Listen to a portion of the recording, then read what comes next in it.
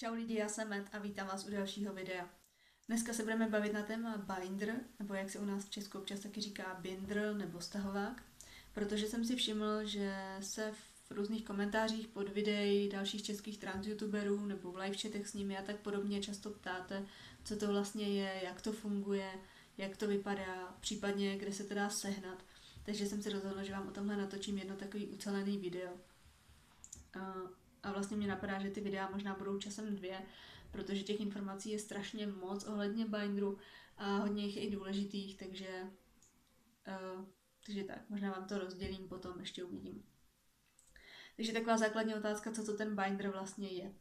Binder je stahovací spodní prádlo určené speciálně FTM transgenderům.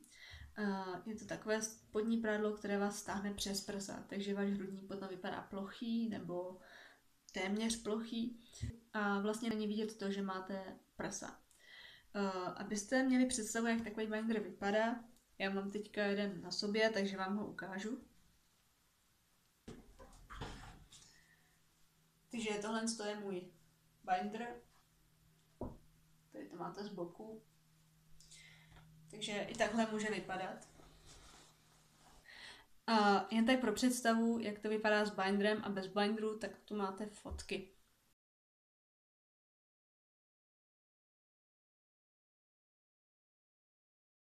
Samozřejmě, eh, pokud si chcete koupit binder, tak existuje strašně moc různých barev. Můžete mít černou, bílou, tělovou, ale viděl jsem i třeba červený, kaky, modrý. Eh, existuje strašně moc barev, záleží na tom, jaký si vyberete. A stejně tak není jenom jeden typ jakoby vzhledově binderu ale můžete mít binder, který končí pod prsama, takže vypadá v podstatě jak podprsenka. Můžete mít binder, který končí plus minus půlce břicha, nebo právě ten, co mám já, to vypadá jak klasický tílko. Taky záleží na tom, co je vám pohodlnější, co si vyberete. A tak. E, v čem se bindery ale trochu liší, záleží to hodně na výrobci, tak je to, jakým způsobem fungují. Všechny bindery vás samozřejmě stáhnou, to je jejich účel, ale každý vlastně má jiný princip toho stahování. Takže o tom si teďka něco málo řekneme, zároveň s tím, kdo ty bindery vlastně vyrábí. Úplně nejlevnější binder, co můžete sehnat, eh, tak seženete na eBay. Tam je mají v průměru kolem dvou až tří stovek, když se to přepočítá. Samozřejmě najdete levnější, najdete tam i dražší, ale tak nějak ten průměr je tady tenhle. Eh, s tímhle binderem teda nemám osobní zkušenost, protože jsem si říkal, že když si budu nějaký kupovat, že si teda už koupím nějaký pořádný, ne úplně z toho eBay, ale někteří jsou spokojení i s těma eBayáckým, s těma, i, s, tě, s, tě, s těma z eBay. Uh, jak ty bindery z eBay vypadají? Uh, zase můžou to být buď jakoby pod, pod, v podstatě podprsenky, polotílka nebo úplný tílka. Uh, máte to vlastně normální bavlněnou látku, normální třeba dejme tomu tílko a v tom je jenom, jenom v ramenech šítá něco jako podprsenka. Je to právě ta stahovací část. Uh, a není to přišitý vlastně dole k tomu binderu, ale jenom v těch ramenech. Takže když si to potom oblečete, stáhnete se, tak ten zbytek na vás neúplně plandá, ale je prostě volnější, vypadá to klasický tílko a fakt je to prostě bavlněný. Takže v tom můžete normálně vyjít ven a nikdo nepozná, že máte na sobě a ne prostě někde nějaký tílko, co jste si koupili tady, já nevím, v New Yorku, v Croptownu nebo v něčem. Tady tyhle ty bindery fungují tak, že, jak už jsem říkal, má to tu vnitřní jakoby podprsenku a na jedné straně to má tady takhle vlastně od podpaží až dolů uh, zapínání. Budou tam být buď tvočky, nebo tam může být suchý zip. A vy si vlastně nastavíte, jak moc chcete, aby vás ten binder stahoval, takže tím, jak to vlastně vystáhnete, tak si určíte, jak moc budete v tom binderu stažení. Uh, tohle je na jednu stranu dobrý a je to možná výhoda toho binderu, že si to povolíte, upravíte, jak potřebujete. Na druhou stranu hodně velká nevýhoda toho binderu je, že vás tam potom musí tlačit. Prostě když si vezmete, že vás to stáhne, že to na sobě máte opravdu prostě úplně děsně nalepený a teď se tam ty dvě látky tak jako kříží, tak to asi nebude úplně příjemný a myslím si, že prostě člověk musí být hodně otlačený. Já jsem hodně slyšel i neúplně stížnosti na tyhle bindery, ale když jsem si kupoval svůj, tak jsem sledoval na YouTube hodně recenzí, abych věděl, co si mám koupit, protože binder není úplně levná záležitost. A asi jsem nezažil člověka, který by byl s tímhle z eBay úplně spokojený. Asi ne. Ale samozřejmě stát se může a může vám ten binder vyhovovat, jo. Takže tohle jsou bindery z eBay. Samozřejmě další nevýhodou potom je, že vás ty bindery stahují ze všech stran, prostě jak ze předu, tak ze zadu, kde to nepotřebujete, protože prostě ta vnitřní stahovací část takhle funguje. Ale zase na druhou stranu někomu to může vyhovovat. Eh, potom takovými většími výrobci binderů jsou dvě takové firmy, které si poměrně hodně konkurují, řekl bych. Jsou to firmy Underworks a GC2B. Eh, firma Underworks se nezabývá jenom čistě těmi bindery, zabývá se i jiným spodním prádlem, jak už napovídá její název, ale na ty bindery se specializuje poměrně hodně.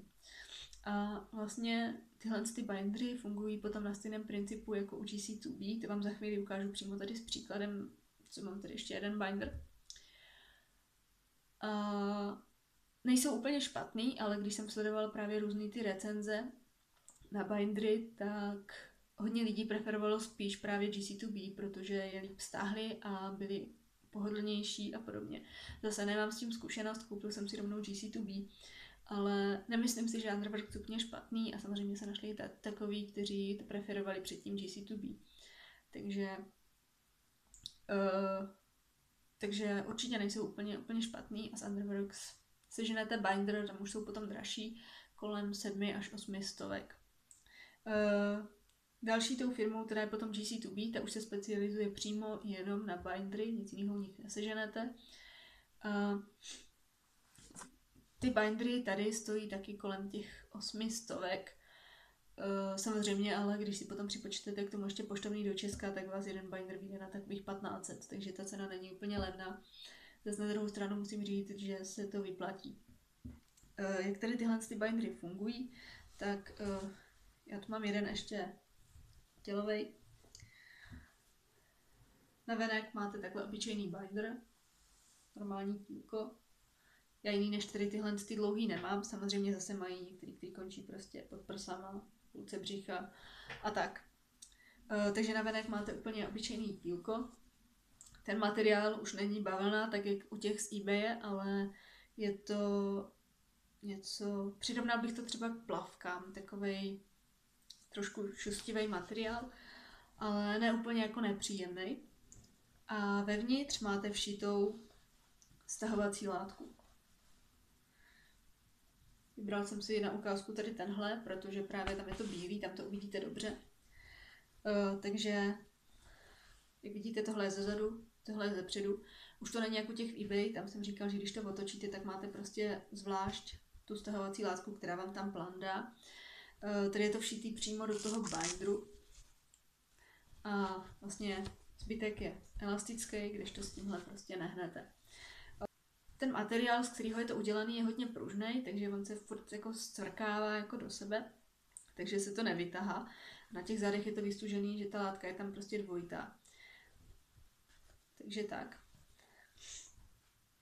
Uh, musím říct, že tady tyhle ty bindery jsou poměrně hodně pohodlný. Uh, samozřejmě proti eBay je v tom ta nevýhoda, že se musíte prostě naměřit a koupit si správnou velikost binderu. Uh, tak, že vám to prostě pak bude sedět i přes ramena, i přes prsa, i prostě zbytek těla. Není tam nějaký, jakoby, že byste si to mohli poupravovat, jak potřebujete. Zas na druhou stranu nikde se nic nekříží, prostě jak si to oblečete, tak to máte. Takže to jsou, to jsou bindery z GC2B. Uh, eh, já mám ten svůj binder teďka asi... Hmm, červen, červenec. Já mám teďka svůj binder asi nějaký čtyři měsíce asi. Nosím ho často a zatím se mi ani jeden z nich nevytahal. Takže je to prostě super. A je to extra pohodlný. Samozřejmě ze začátku, když jsem si ten binder oblíkl, tak to bylo úplně jako, oh, Ježíš Maria, jsem tu městně stažený a, a je to nepříjemný a tak. A vydržel jsem v tom třeba prostě půl hodiny, hodinu denně, ale ono se postupně jako ne, že natrénujete, ale spíš si jako na to zvyknete a pak už vám to tak ani nepřijde. Když máte na sobě binder, tak to nebolí, netlačí to, můžete normálně dýchat. Pokud ne, tak je něco špatně, musíte si koupit jiný. Jako pokud v tom dýchat nemůžete, tak ho nenoste. Ale jinak je to prostě, je to, dalo by se říct, pohodlný na nošení. Takže binder z GC2B je pohodlný, netlačí, nebolí a v podstatě i tím, že je takový jakoby uplej, tak se na vás nalepí a trochu působí jako druhá kůže. Jakože fakt musím říct, že ho až tak moc jako necítím na sobě, že to prostě přilne a je to, je to úplně v pohodě. I teďka v létě třeba je mi v něm víc horko, než když ho nemám. A zase na druhou stranu není to takový ten hnusný pocit, jako když máte tričko, spotíte se a teď cítíte, jak vás to prostě všude studí, jak se na vás lepí a tak. Tak ne, v tom bindru to je prostě jak když se spotíte prostě normálně. Takže uh, horko v tom je, není to úplně příjemný v létě, ale dá se to vydržet a není to zase až tak strašný. Tak samozřejmě ve všech těch bindrech se dá koupat, jak už jsem říkal, tady tyhle ty jsou ze stejného materiálu, jako jsou plavky, takže normálně se v tom můžete vlít jako do vody a všechno, ty bindry nepovolí, jakože by najednou prostě v té vodě jako stěžkli nebo nějak to. Furt vás, furt vás dobře stahují.